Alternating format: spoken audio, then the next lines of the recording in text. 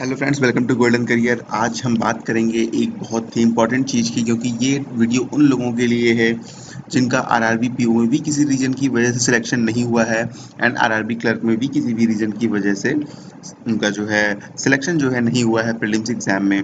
Definitely उनके लिए ये थोड़ा सा सैड मोमेंट है। डेफिनेटली वो ऐसा एक्सपेक्ट नहीं कर रहे होंगे कि उनका सिलेक्शन नहीं हो। लेकिन अब क्या करना चाहिए? क्या निराश होकर बैठ जाना चाहिए? क्या दो तीन अटेम्प्ट हो गए हैं? अब आपको ये लगने लगा है कि नहीं यार बैंक की नौकरी आपके लिए नहीं बनी हुई है। क्या आपको ये लगने लगा है कि आप ये एग्ज़ाम क्रैक नहीं कर पाएँगे?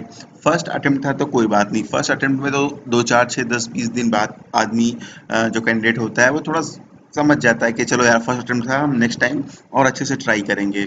बट वो लोग ज़्यादा निराश हो जाते हैं, जिनका ये थर्ड अटैम्प्ट था फोर्थ अटैम्प्ट था, या उनका लास्ट अटेम्प्ट था, उनके पास तो अब ऑप्शन ही नहीं बचा है, चलिए कोई बात नहीं, या जिनका अगली बार लास्ट अटैम्प्ट होने वाला है तो हम इन सब के बारे में डिस्कस करेंगे कि कैसे क्या किया जाए, आखिर क्या इम्प्रूवमेंट लाया जाए। देखिए, मैं डेफिनेटली कह रहा हूँ कि आप अगर वीडियो देखेंगे पूरा, बात मानेंगे तो ऐसा नहीं है सिलेक्शन नहीं होगा। मैं इस बात की गारंटी बिल्कुल नहीं देता हूँ कि आपका आर में ही हो जाएगा बट इस बात की मैं गारंटी ज़रूर देता हूँ कि किसी न किसी गवर्नमेंट जॉब में आपका ज़रूर हो जाएगा।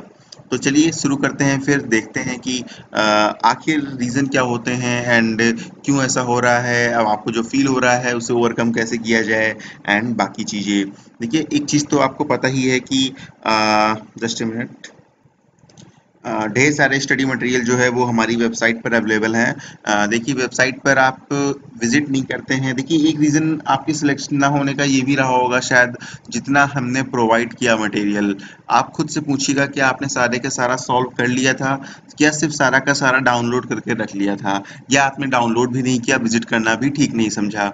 देखिए R R B P O आप लोग एग्ज़ाम दे रहे थे क्लर्क दे रहे थे, ठीक है, हिंदी को लेकर आप लोग बहुत ज़्यादा वो रहते हैं कि नहीं सर, हिंदी हिंदी हिंदी। मैं फिर से कह रहा हूँ सिलेक्शन का गवर्नमेंट जॉब चाहिए ना तो यार थोड़ा सा फोकस करो इंग्लिश पे। आप लोग ये कहते हैं कि इंग्लिश जो है, आपको मतलब उनको आती नहीं है। इंग्लिश सर बहुत डिफ़िकल्ट है। आप ये बताइए कि आपको मैथ्स आती थी पहले से? कि आपको रीजनिंग पहले से आती थी? आपका कुछ भी सीख के तो आए नहीं थे कि आप का जब जन्म हुआ तब से आपको मैथ्स और रीजनिंग अच्छे से आती थी, बढ़िया से नहीं आती थी ना? इंग्लिश क्यों नहीं आई? क्योंकि स्टार्टिंग से हम लोग की स्कूलिंग ऐसी हुई है, हम लोग पढ़े ऐसी जगह पर हैं। हम लोगों की शायद हिंदी मीडियम से पढ़े हैं, हम लोग स्टेट बोर्ड से पढ़े हुए हैं सेम मैं भी स्टेट बोर्ड से पढ़ा हुआ हूँ। इवन मैंने तो टेंथ के बाद ही इंग्लिश नहीं पढ़ी है एलेवन ट्वेल्थ में भी मैंने इंग्लिश नहीं पढ़ी है कंप्यूटर पढ़ा है, ठीक है? तो दिक्कत हम लोग के साथ आती है। लेकिन प्रॉब्लम ये होता है, हम लोग ध्यान नहीं देते हैं, हम लोग मेहनत नहीं करना चाहते हैं। क्यों? क्योंकि अब इंग्लिश को सीखना है तो मेहनत करनी पड़ेगी, उससे बचना चाहते हैं। इस वजह से जो है, एक और रीज़न है मेजरली सिलेक्शन ना होने का। क्यों? क्योंकि आप अपने आप को सीमित कर लेते हैं आरआरबी के एग्ज़ाम तक। बाकी एग्ज़ाम क्लियर करने के लिए आपको इंग्लिश आना बहुत अच्छे से ज़रूरी है। तो मेरा पहला सजेशन ये रहेगा कि डेली आप आए वेबसाइट पर डेली सुबह उठते ही मैं कोशिश करता हूँ आठ बजे तक न्यूज़पेपर ज़रूर अपलोड हो जाए और मैं जानता हूँ सब लोग लेट नाइट आजकल जगते हैं। ठीक है बहुत कम ही कैंडिडेट्स ऐसे होंगे सुबह चार बजे पाँच बजे उठ के पढ़ते हों। तो सुबह आप उठिए उठने के बाद खुद चाय बनाइए कॉफ़ी बनाइए या घर पे कोई बना दे रहा है तो बहुत बढ़िया है। ठीक है उसके बाद न्यूज़पेपर डाउनलोड करिए साथ में अपना आ, कॉफ़ी इंजॉय करिए और न्यूज़पेपर पढ़िए। ये एक आदत बना लीजिए डेली हैबिट बना लीजिए। इसको आदत बनने में बहुत टाइम नहीं लगेगा। ये आदत बनने में आपको लगेगा हार्डली पंद्रह से बीस दिन। उसके बाद जब आप सुबह उठेंगे, आपको चाय मिलेगी, आपकी आदत पड़ चुकी होगी। आपको खुद लगेगा कि कुछ कुछ मिसिंग है यार। हाँ न्यूज़पेपर आज नहीं है, चलो न्यूज़पेपर पढ़ लेते हैं। ठीक है, आपकी आदत बन जाएगी और आप विश्वास करिए, आप अगर न्यूज़पेपर डेली पढ़ने लगेंगे ना तो दो महीनों में आपको खुद की इंग्लिश में बहुत इंप्रूवमेंट दिखेगा। At least spot the error and para jumble ये सब चीज़ें आपसे होने लगेंगी, क्योंकि आप चीज़ें समझने लगेंगे खुद ब खुद। ये आप जब पढ़ेंगे, तब आपको खुद फील होगा, ठीक है? दूसरा काम ये करना है अच्छा जब भी देखिए न्यूज़पेपर वाली वेबसाइट पे गए ना हम लोग पेज पे, वहाँ पे बहुत सारे ऐड डिस्प्ले हो रहे थे तो ये रिक्वेस्ट है मेरी प्लीज़ ऐड पे एक दो क्लिक कर दीजिएगा प्लीज़ बहुत बड़ी रिक्वेस्ट है आपसे, ठीक है? और दूसरा काम ये, आप स्टडी मटेरियल पढ़ना स्टार्ट करिए, ठीक है? अगर आपने नहीं पढ़ा था, अब हम लोग बात कर लेते हैं बेसिकली आपके रिज़ल्ट की, अब आप कैसा फील कर रहे हैं? देखिए रिज़ल्ट तो आपका आ गया अब आपका सिलेक्शन नहीं हुआ। बहुत से लोग का जो है, उनका सिलेक्शन बिल्कुल नहीं हुआ। क्लर्क में भी पीओ में भी। तो इनके लिए मैं एक बात ये बोलना चाहूँगा कि ये आपकी लाइफ का लास्ट एग्ज़ाम नहीं था। क्या ये आपकी लाइफ का लास्ट एग्ज़ाम था? नहीं था ना। कुछ लोगों का ये लास्ट अटेम्प्ट ज़रूर था। वो ओवर एज हो गए। ठीक है, वो अब बैंक के लिए ओवर एज हो गए। तो उनके लिए मैं बोलना चाहूँगा, यार, अब आप ओवर एज हो गए हो तो डेफिनेटली आप बहुत ही बुरा फील कर रहे होगे कि आपका सिलेक्शन नहीं हुआ। कोई बात नहीं, आप और स्टेट लेवल एग्ज़ाम्स देखो एसएससी एग्ज़ाम्स देखो जहाँ पर जो एज हो, वो एज लिमिट थोड़ी सी ज़्यादा हो, जहाँ पर आप अप्लाई कर सकें, उनके लिए प्रिपरेशन आप स्टार्ट कर दो। और बैंक जैसी गलती मत करना, जी जान लगा के प्रिपरेशन करना। देखिए प्रिपरेशन का एक ही फॉर्मूला है, आपको डेली पढ़ना होगा मतलब रेगुलर रेगुलरिटी बहुत ज़रूरी है, अगर आप रेगुलर कोई चीज़ नहीं करेंगे ना, फिर सिलेक्शन डिफ़िकल्ट हो जाता है, फिर वो इतना इजी नहीं रह जाता है। ठीक है? अब देखिए, अगर आपका फ़र्स्ट अटेम्प्ट था ये तो मैं कहना चाहूँगा, बिल्कुल भी निराश होने की ज़रूरत नहीं है। फ़र्स्ट अटेम्प्ट था आपका, आपने पढ़ा, आपने मेहनत की, आपने देखा एग्ज़ाम कैसे होता है, आपने देखा कट ऑफ़ किस लेवल के पेपर में कैसे चली जाती है, और आप कट ऑफ़ से कितना पीछे हैं, आपको किन किन चीज़ों में मेहनत करनी है एग्ज़ाम टाइम में इन्वायरमेंट कैसा होता है पेपर कैसा होता है पेपर देने का तरीका क्या होता है, ये सब चीज़ें आपको एक्सपीरियंस मिल गया ये एग्ज़ाम देने से।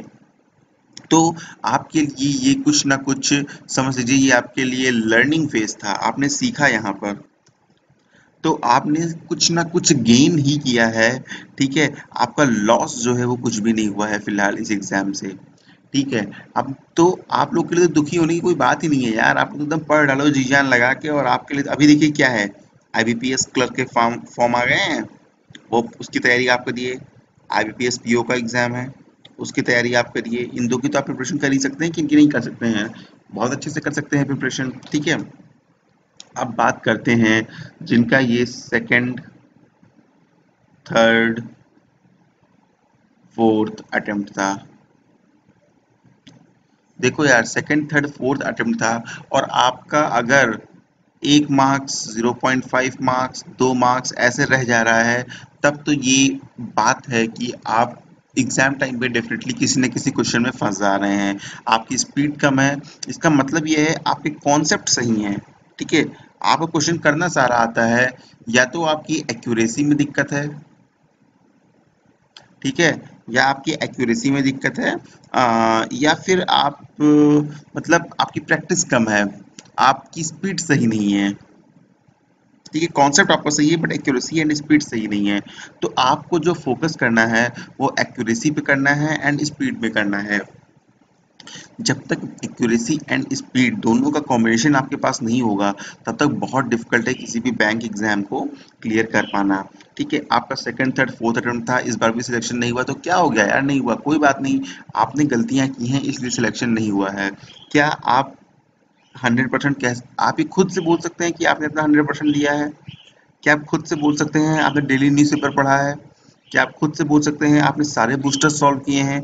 क्या आप खुद से बोल सकते हैं वेबसाइट पर जितना स्टडी मटेरियल है आपने सारा पढ़ा है, सारा डाउनलोड किया है? खुद से बोल सकते हैं, आप, आपने छः से सात घंटे डेली पढ़ाई को दिया है और आपने ज़्यादा मस्ती नहीं मारी है पिछले तीन महीनों में। अगर ये सब आपने किया था, आपने बहुत ही अच्छे से पढ़ा था, फिर भी आपका प्रिलिम्स नहीं क्लियर हुआ तो मैं कहूँगा हाँ थोड़ा सा लक भी होता है, एक दो परसेंट ठीक है, लेकिन चांसेस बहुत कम है डेफिनेटली कुछ ना कुछ लैकिंग रही होगी आपके अंदर। तो मैं ये कहूँगा कि कोई बात नहीं, आपके पास अगर एक अटेम्प्ट भी अभी और बचा हुआ है नेक्स्ट ईयर का, या अभी नेक्स्ट ईयर की सोचने की बात ही नहीं है नेक्स्ट ईयर आप लोग क्यों सोचते हो? आप में से कितने लोग का टारगेट ये है कि आर आर आरआरबी पीओ हमें बनना है? और कितने लोग का टारगेट ये है कि भाई हमें गवर्नमेंट जॉब चाहिए? बताइए।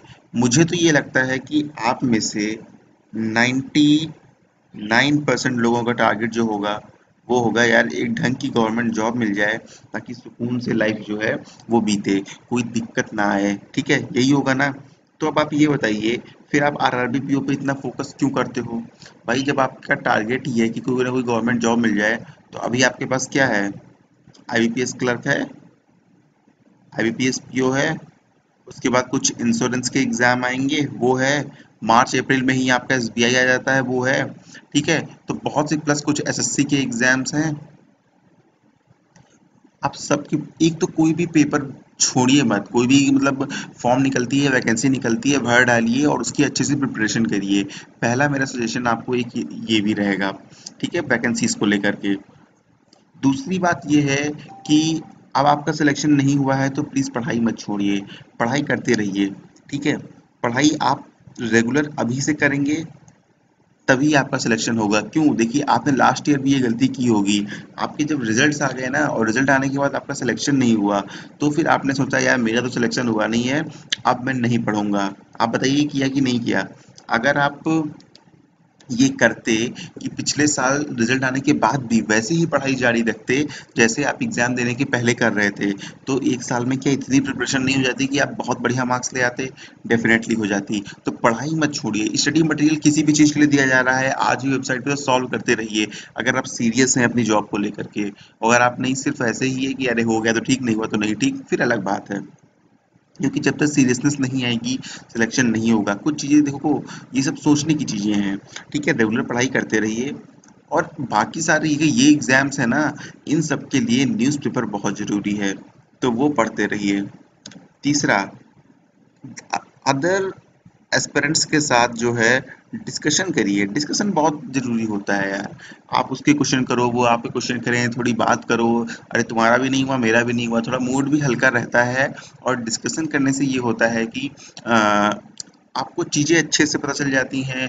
अलग अलग टाइप के क्वेश्चंस करने को मिलते हैं। भाई दूसरा क्या कर रहा है? अरे दूसरे को ये क्वेश्चन नहीं आया ये तो मुझे आता है। ठीक है? तो वो बढ़िया रहता है। डिस्कशन करने के लिए एक तो हमारा फेसबुक पेज है। आप वहाँ पर जाइए। ठीक है? या फिर दूसरा हमारा टेलीग्राम ग्रुप है, आप वो ज्वाइन कर लीजिए। या आपके आसपास लोग हैं, साथ में किसी की प्रिपरेशन कर रहे हैं तो आप उसमें तीन, चार, पाँच लोग का ग्रुप बना लीजिए एंड उसमें डिस्कशन ज़रूर करिए। ठीक है? करंट अफेयर्स पढ़ना मत छोड़ा करिए। एग्ज़ाम टाइम पे ज़्यादा मेहनत करिए, लेकिन करंट अफेयर्स पे आप थोड़ा थोड़ा डेली पढ़ते रहिए, आधे घंटे, पंद्रह मिनट, बीस मिनट भी डेली दे दिए तो उतना मोर देन इनफ होगा कि हाँ चलो ठीक है, हो गया यार, थोड़ा करंट अफेयर्स उससे ये होगा कि कुछ ना कुछ करंट अफेयर्स आपका प्रिपेयर होता रहेगा एंड कोई भी दिक्कत आपको नहीं आएगी एग्ज़ाम टाइम पर आपके ऊपर प्रेशर नहीं आएगा, ठीक है? क्योंकि हर दो दो तीन तीन महीने पे एग्ज़ाम तो होते ही रहते हैं तो करंट अफेयर्स परमानेंट चलता रहे तो वो आपके लिए ज़्यादा बेटर होगा, ठीक है? तीसरा लो फील मत करें। दो बार नहीं हुआ, तीन बार नहीं हुआ, चार बार नहीं हुआ, कोई बात नहीं है, ठीक है? आप ऐसे ऐसे कैंडिडेट्स भी हैं जिनका फोर्थ अटेम्प्ट में हुआ है फिफ्थ अटेम्प्ट में हुआ है। इवन मैं बताता हूँ, मेरे एक जानने वाले हैं शायद मैंने पहले भी ये बात शेयर की है, वो करेंटली आईआरएस हैं, ठीक है? सिविल सर्विस उन्होंने क्रैक किया है इंडियन रेवेन्यू सर्विसेज़ में, ठीक है? और उन्होंने अपने लास्ट अटेम्प्ट में क्रैक किया, सारे अटेम्प्ट दिए थे आई थिंक सिक्स या सेवन्थ अटेम्प्ट था। जिसमें उन्होंने क्रैक किया है, बहुत लोग फ़र्स्ट में कर लेते हैं, ठीक है? तो निराश होने वाली बात नहीं है यार, तीन साल चले के चले गए कोई बात नहीं। गवर्नमेंट जॉब अगर आपको सत्ताईस साल की एज में मिल जा रही है ना तो बुरा नहीं है। ठीक ठाक सैलरी होगी। अब तो बैंक पीओ की सैलरी भी यार बढ़िया होगी, है ना? अलेवन सेटलमेंट लग जाएगा, अड़तालीस पचास हज़ार रुपये स्टार्टिंग सैलरी होगी।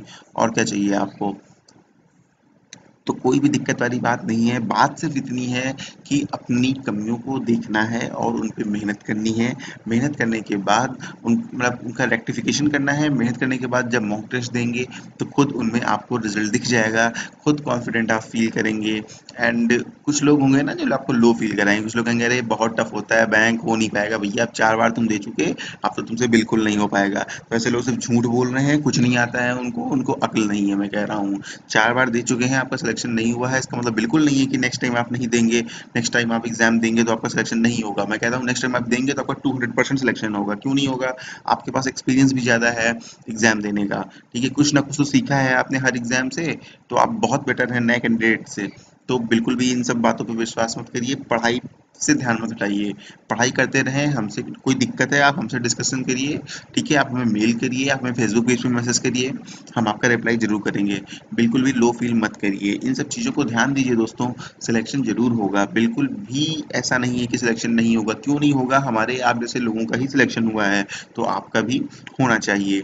होपफुली ये वीडियो आपको अच्छा लगा होगा। वीडियो किसी भी रीजन से अच्छा लगा है तो लाइक करिएगा चैनल को सब्सक्राइब करिएगा वीडियो को वेबसाइट को अपने फ्रेंड्स का शेयर करिएगा एंड जब भी वेबसाइट पर जाएँ एक ऐड पे ज़रूर क्लिक करिएगा एंड एक अच्छी आदत आज से डाल लीजिए आज से ही न्यूज़पेपर पढ़ना स्टार्ट कर दीजिए। Thank you